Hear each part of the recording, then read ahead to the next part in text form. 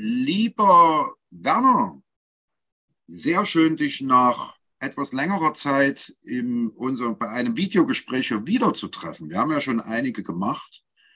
Und heute geht es um einen doch relativ bekannten Roman, beziehungsweise eine Geschichte, sage ich mal, die relativ bekannt ist. Ob jetzt jeder den Roman kennt, ist eine andere Frage, aber vom Film werden es viele kennen. Pinocchio. Pinocchio. Die kleine Holzfigur mit der langen Nase. mhm. So, und du hast äh, dieses Thema, diesen Stoff quasi nochmal aufgegriffen und neu, neu geschrieben, kann man eigentlich auch sagen ja. mit etwas zeitgemäßerer Sprache, aber vor allen Dingen mit einem Bezug zur Freimaurerei. Was hat denn Pinocchio nun mit der Freimaurerei zu tun? Sind Freimaurer Lügner, die alles so eine lange Nase kriegen, wenn sie lügen? Oder was ist der Zusammenhang? Das wäre natürlich genau das, was die Gegner der Freimaurerei gerne hören möchten. Aber zur Erläuterung. Das Buch stammt von einem Carlo Collodi, Italiener, und dieser Mann war Freimaurer. Und er hat, er hat das Buch geschrieben, ich halte jetzt mal davor, Pinocchio, das ist die Urfassung. Ähm, ich hoffe, man kann es so ganz gut lesen. Ja, man sieht es gut. Und was entscheidend ist, immer wenn man Menschen fragt, äh, was fällt ihnen ein oder was fällt dir ein bei Pinocchio, wird immer wieder gesagt, ja, die lange Nase. In dem Originalbuch erscheint, das Originalbuch hat fast 300 Seiten. Da erscheint die lange Nase an zwei Stellen, nicht häufiger. Aber dank Walt Disney, der natürlich Pinocchio als Figur, als Comicfigur gerne verarbeitet hat, der hat die Geschichte sehr stark verändert und hat äh, die Geschichte etwas, na sagen wir mal, verkürzt dargestellt. Und mich hat das gestört und ich habe das Buch, das man, nachdem Coloni länger als 70 Jahre tot ist, nochmal neu geschrieben in einer neuen Sprache, modernen Sprache und habe dann, weil er Freimaurerei äh, ist, weil er Freimaurer gewesen ist, geprüft, in welchem Bezug steht das. Und wenn man das Buch aufmerksam durchliest, stellt man fest, es steht in einem sehr, sehr intensiven Bezug zur Freimaurerei. Collodi hat das Buch nicht als Kinderbuch geschrieben, sondern als eine Parabel für Erwachsene. Mhm. Und ich habe das Buch neu geschrieben mit dem Titel Pinocchio, ein freimaurerisches Ideal, eine. Initiationsgeschichte.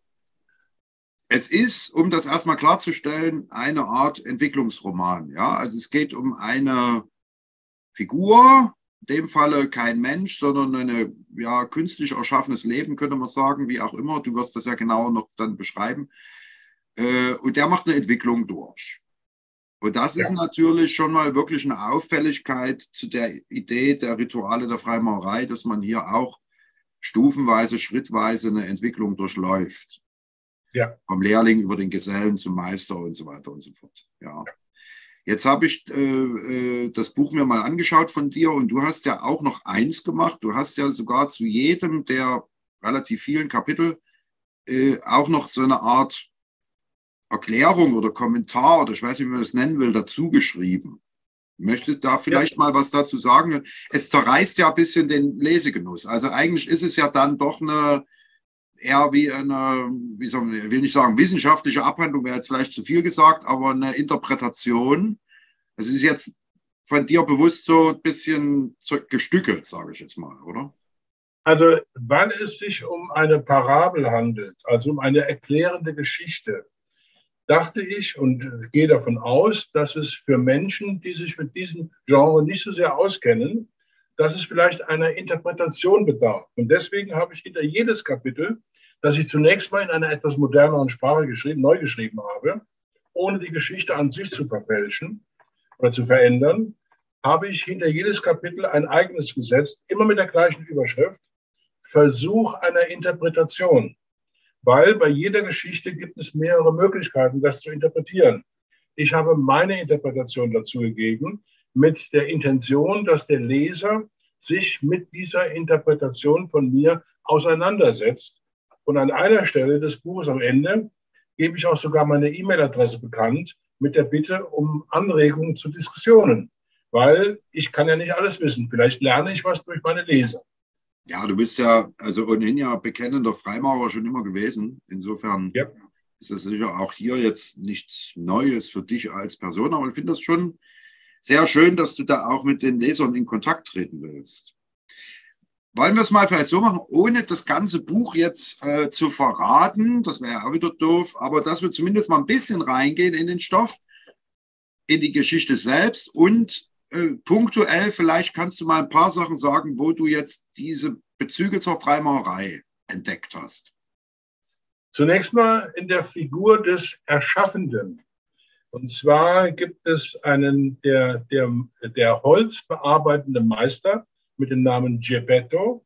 Das ist derjenige, der äh, diese Holzfigur erschafft. Und äh, die Geschichte, wie er das erschafft, er er hat einen Freund, von dem er ein Holzscheit bekommt. Dieses Holzscheit äh, reagiert merkwürdig auf Bearbeitungsversuche. Wenn es gehobelt wird, schreit es und so weiter und so weiter. Sehr lustig zu lesen. Und er nimmt das Stück mit nach Hause und denkt, na ja, du könntest ja eigentlich mal eine Figur machen. Er hat sonst äh, Stuhlbeine gemacht oder Möbel und so weiter. Du könntest ja mal eine Figur machen, du hättest dann auch zumindest mal zum Anschauen einen Partner. Und das macht er dann auch. Und bei der Erstellung der Figur passieren einige merkwürdige Dinge. Äh, als er fertig ist, erweckt diese, äh, erwacht diese Figur zum Leben. Und diese Figur versucht von Anfang an erstmal von ihm wegzulaufen, von ihm wegzugehen, um eigene Wege zu gehen. Und der Kern der Geschichte ist, dass er weggeht, um etwas Besseres, wobei das Bessere eigentlich nie genau definiert ist. Er geht weg, um was Besseres zu erleben. Er leidet Schiffbruch und kehrt dann immer wieder zurück zu seinem Ursprungsort. Mhm. Darf, ich kurz, ähm, darf ich mal kurz dazwischen gehen? Ja. Also äh, für mich assoziiert das jetzt erstmal noch gar nicht so sehr was Freimaurisches, sondern eher einen biblischen Stoff. Also du kennst ja vielleicht die Geschichte vom verlorenen Sohn, ja. Äh, also wo ein Vater zwei Söhne hat und der eine ist sehr brav und macht alles, was der Vater sagt und der andere Sohn ist so ein bisschen aufmüpfig und lässt sich dann auch sein Erbe schon im Vorfeld auszahlen, um in die weite Welt zu ziehen und erleidet Schiffbruch. Also erlebt schlimme Sachen und so weiter und er beschließt am Ende zum Vater zurückzukehren das ist ja nun eine sehr prägnante Stelle in der Bibel auch und äh, natürlich das wieder Gleichnis für Gott und den Menschen, äh, den Schöpfer und seine Geschöpfe und das, die verschiedenen Möglichkeiten des Verhältnisses zwischen beiden und so weiter. Also da erinnert mich das eher ein bisschen an die, an die Geschichte. Der Vergleich würde sich anbieten. Allerdings ist hier der Unterschied, es gibt erstens keine Brüder, und zweitens die Figur Pinocchio, äh, wenn er aus, in, aus dem Haus, in dem er äh, gezeugt oder erzeugt wurde, erschaffen wurde, hinausgeht, dann tut er das im Grunde genommen, um mehr Wissen sich anzueignen. Er will eigentlich zur Schule gehen. Und sein, Erschöpf, äh, sein Erschaffer, der äh, Geppetto, der verkauft zum Beispiel einen Teil seiner Kleidung, um ihm die Bücher zu finanzieren der geht dann, und Pinocchio geht dann raus in die Welt, aber er nimmt das, was man ihm als Buch, als Lehrbuch mitgegeben hat, das gibt er weg gegen einen Besuch in einem Theater, in einem Puppentheater. Das heißt, und das ist so, er, er will zwar einerseits etwas lernen, andererseits lässt er sich aber von, von Vergnügungen ablenken und opfert dann dieses Wissenspotenzial an ein normales weltliches Vergnügen. Da sehe ich durchaus den Bezug zur Freimaurerei, weil Freimaurerei ja sagt, lege deine weltlichen Dinge zunächst mal ab und versuche geistige Erkenntnisse zu erreichen. Das ist ja das, was immer die Aufgabe von Freimaurern zumindest äh, apostrophiert wird, dass man sagt, wir möchten Weisheit erreichen, wir möchten Erkenntnis erreichen, wir möchten das Licht erreichen. Das ist ja das, die Symbolik der Freimaurerei, die da sich auch niederschlägt. Mhm, mhm. Ja, okay. Äh, wie geht es jetzt weiter? Er geht in die Welt hinaus was er auch gesagt hat, geht hinaus in die Welt, bewährt euch als Freimacher. Aber ich glaube, Pinocchio bewährt sich erstmal gar nicht so sehr, oder? Er geht ja auch äh, mit Trügern auf den Leim und erlebt einen Haufen blöde Sachen. Ja, weil es alles, was er tut, ist darauf ausgerichtet, Vergnügen selbst zu haben. Er hat noch nicht begriffen, dass es im Leben nicht nur um das persönliche Vergnügen geht, sondern auch um Erkenntnisse. Äh, deswegen um das, die Suche nach Wissen. Und er lässt sich immer wieder ablenken. Äh, und dann äh, zum Beispiel, er kommt in eine Situation, die ich jetzt nicht, darauf gehe ich jetzt nicht ein, weil sie im Disney-Film auch nicht behandelt wird, aber oder anders behandelt wird. Aber er kommt zu Goldstücken.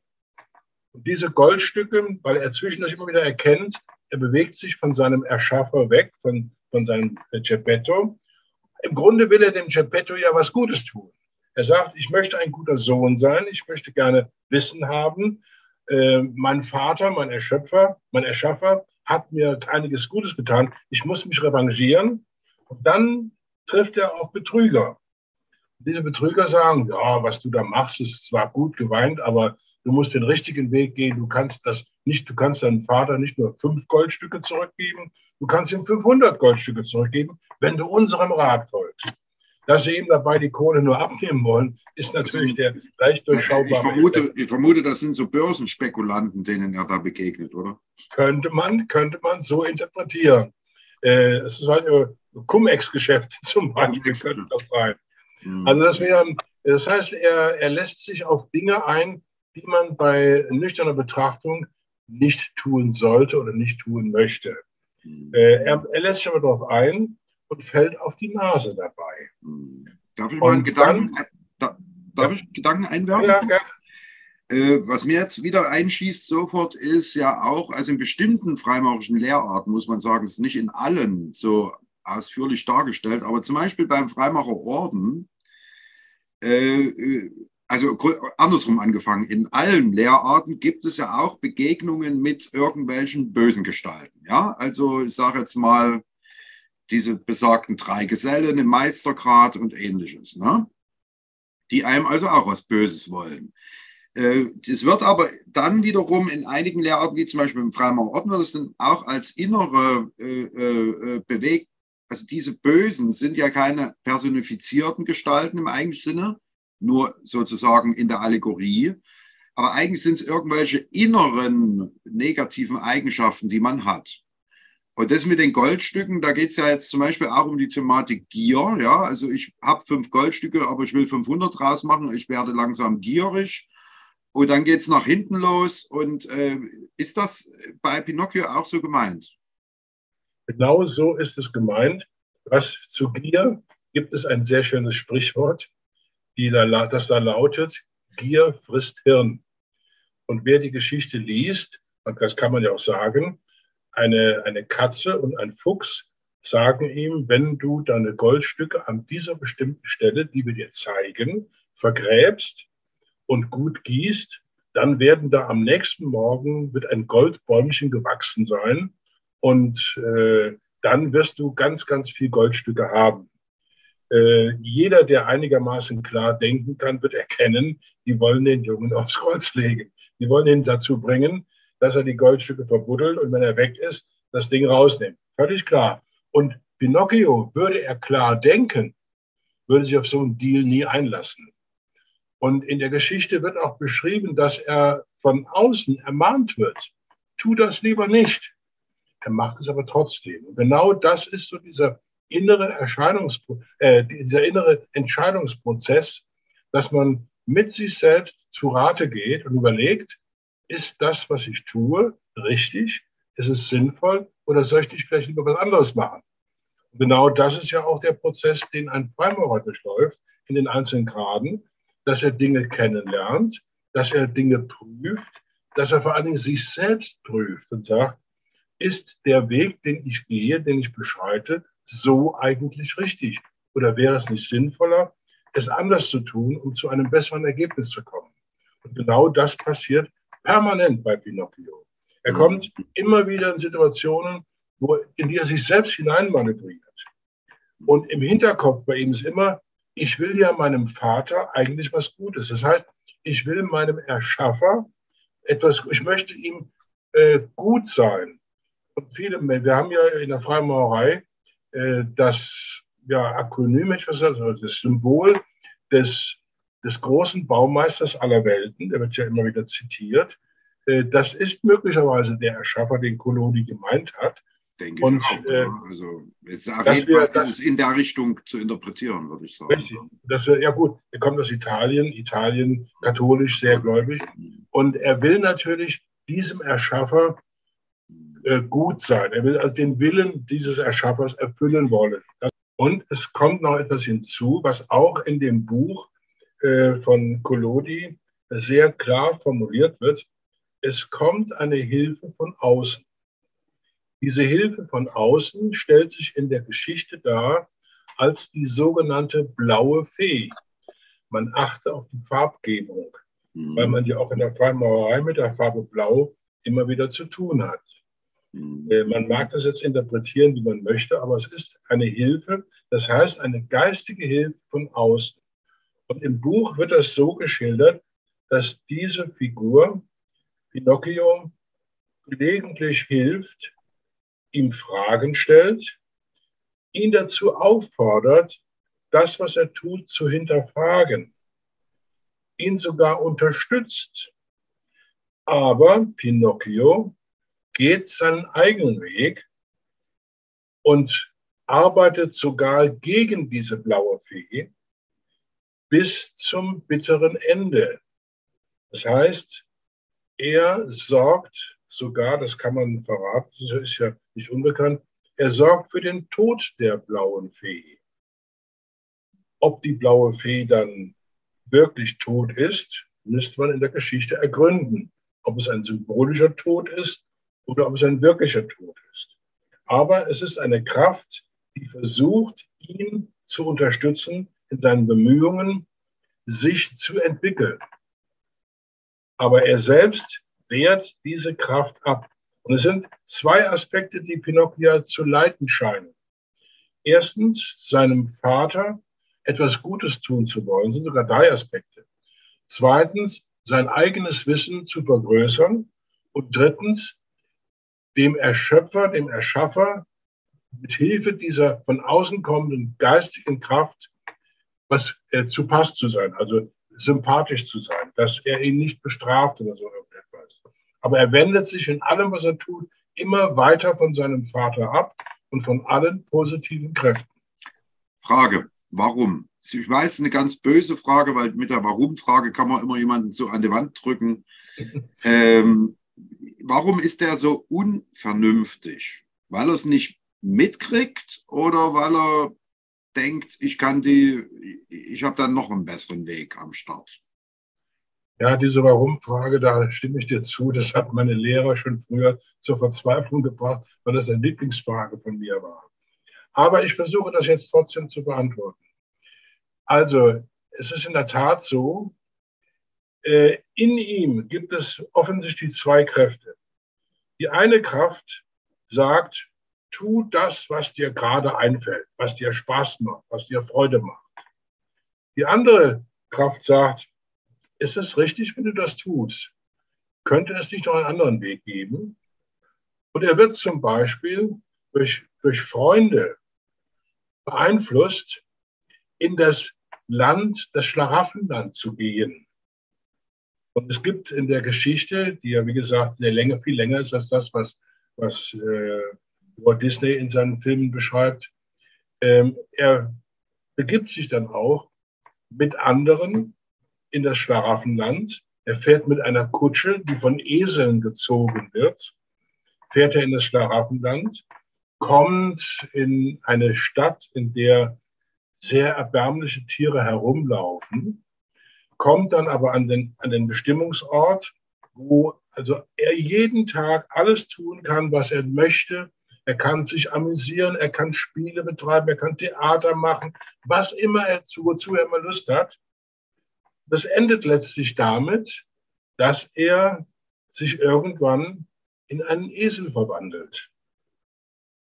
Und wenn er dann Esel ist, seine Freunde übrigens werden auch Esel. Und dann erleiden sie persönlich das Schicksal eines Esels, indem er Kunststücke machen muss, indem er Lasten tragen muss und so weiter. Aber auch das Leben als Esel findet irgendwann ein Ende, und zwar ein körperliches Ende. Er erleidet einen körperlichen Tod.